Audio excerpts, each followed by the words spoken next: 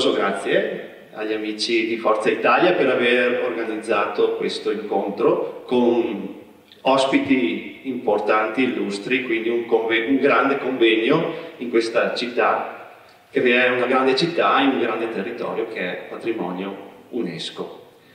Fare l'assessore qui all'agricoltura è, è, una fortuna, è un, territorio, è un territorio che si è modificato negli ultimi 35 anni, così andando un po' indietro, sono sparite le piccole realtà zootecniche che c'erano uh, e eh, diciamo si è sviluppata sempre di più la viticoltura, con la cultura del prosecco. Questo ha portato nelle aziende, negli agricoltori, una buona redditività che l'agricoltore, sentinella del territorio, ha reinvestito abilmente in questo territorio, coccolandolo e facendolo diventare quello che è. Quindi colline ben tenute, lavorate, ha investito molto in uh, innovazione, in tecnologia, concetti come la biodiversità, la sostenibilità che sono tanto di moda adesso, l'agricoltore l'ha sviluppata ancora 15 anni fa. Eh, un esempio, il risparmio dell'acqua nell'irrigazione con eh, i sistemi di irrigazione a boccia.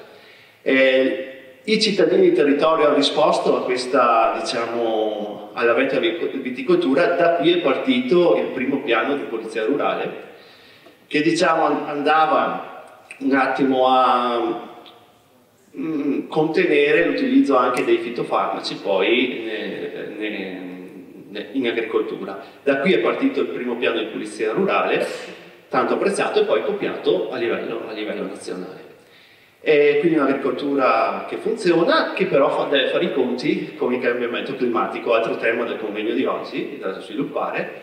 E così per, per dire, qui siamo vicini al seminario vescovile e c'era un un parroco, Don Antonio Denardi, che ha tenuto per tanti anni i dati climatici di Vittorio Veneto, ha, anche, ha scritto anche un libro.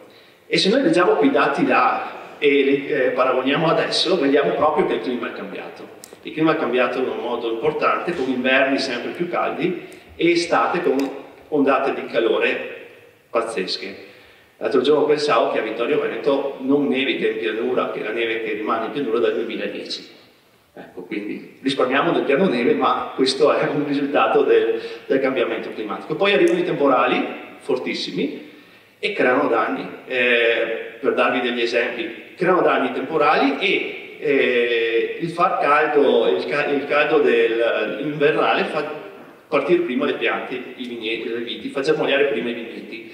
Se ci ricordiamo il 2017, 2017 il 19 e 21 aprile, le grandi gelate che hanno dimezzato la produzione di prosecco in questo areale. Poi gelate che sono ripetute nel 2019 e 2021, proprio perché la pianta era avanti.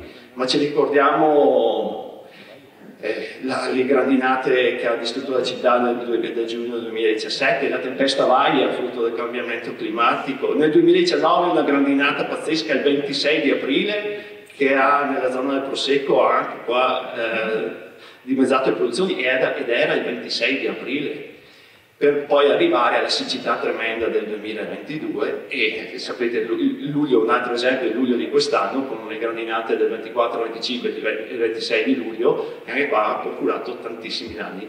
Quindi un agricoltore, un'agricoltura che adesso deve fare i conti con questo cambiamento climatico e qui eh, alzo le mani, stanno anche i nostri, i nostri rappresentanti e le istituzioni trovare le, le soluzioni più adatte.